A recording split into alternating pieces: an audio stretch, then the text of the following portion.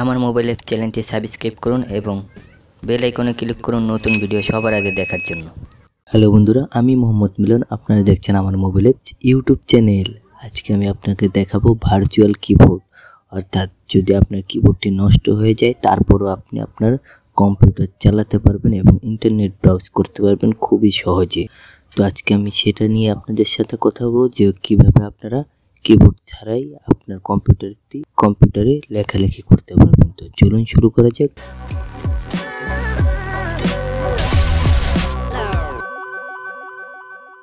বন্ধুরা, এটা কয়েকটা পদ্ধতি আছে। আমি আপনাকে আজকে কিছু সাধারণ এবং কিছু বেসিক ধারণা দিয়ে দেব এবং খুব সহজে যাতে আপনারা ওপেন করতে পারেন এবং সেটার মাধ্যমে আপনি কিছু ইউজ করতে পারেন।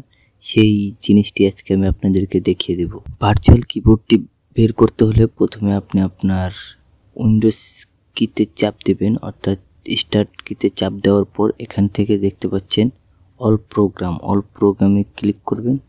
এখানে আপনি সব প্রোগ্রাম এসে পড়বে। এখান থেকে এই ফোল্ডারটিতে চলে যাবেন। আনসোসারিজ এটাতে ক্লিক করবেন। করার পর এই যে এখানে এসে পড়বেন। এখানে দেখছেন আপনারা যে ফর অ্যাক্সেস এখানে ক্লিক করবেন। এখানে ক্লিক করার পর, এই যে এখানে দেখেন অন স্ক্রিন কিবোর্ড এটাতে ক্লিক করলেই আপনি ব্রাউজ করতে পারবেন ইন্টারনেট ব্রাউজ করতে পারবেন। যেরকম দেখেন, আমি গুগলে লিখি।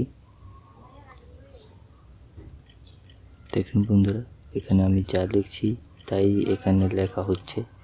তো বন্ধুরা, আপনি এটা দিয়ে সাময়িক কিছু কাজ করতে পারবেন। হয়তো প্রফেশনালভাবে আপনি টাইপিং করতে পারবেন না, কিন্তু সাময়িক কিছু ব্রাউজ ইউজ করতে পারবেন।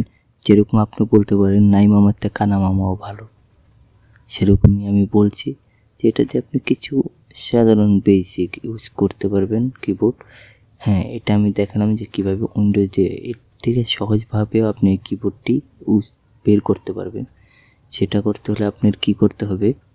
মনে করেন এটা কেটে দিলাম। সেটা করতে হলে আপনি উইন্ডোজ প্লাস ইউতে ক্লিক করবেন, তারপর এরকম প্রোগ্রাম চলে আসবে। এখান থেকে আপনারা দেখতে পাচ্ছেন stand on start on keyboard, screen keyboard. এটাতে ক্লিক করবেন, ক্লিক করলে বাস। বন্ধুরা, এসে পড়ল আপনার ভার্চুয়াল কিবোর্ডটি এটা বন্ধুরা, এভাবে আপনারা আপনার কিবোর্ড ছাড়া এটা আপনার ল্যাপটপের হোক কম্পিউটারের হোক, সাধারণ কিছু বেসিক কাজ আপনি চালাতে পারবেন মোটামুটি। তো বন্ধুরা, আশা করছি আপনাদের ভিডিওটি ভালো লাগবে এবং ভিডিওটি আপনাদের অনেক উপকারে আসবে এবং এই ভিডিওটি আপনি বিশেষভাবে শেয়ার করে দিন যাতে যাদের কিবোর্ড নষ্ট হয়ে গেছে যাদের কিবোর্ড নাই, তাদের এই ভিডিওটি দেখা অনেক জরুরি। তো বন্ধুরা, আশা করছি ভিডিওটি ভালো লেগেছে। যদি ভিডিওটি ভালো লাগে লাইক কমেন্ট শেয়ার এবং সাবস্ক্রাইব করবেন, কারণ আমি আপনার জন্য প্রতিদিনই নিয়ে আসি এরকম টেক সম্পর্কিত অ্যাপ এবং টেকনোলজি সম্পর্কিত ভিডিও। ধন্যবাদ।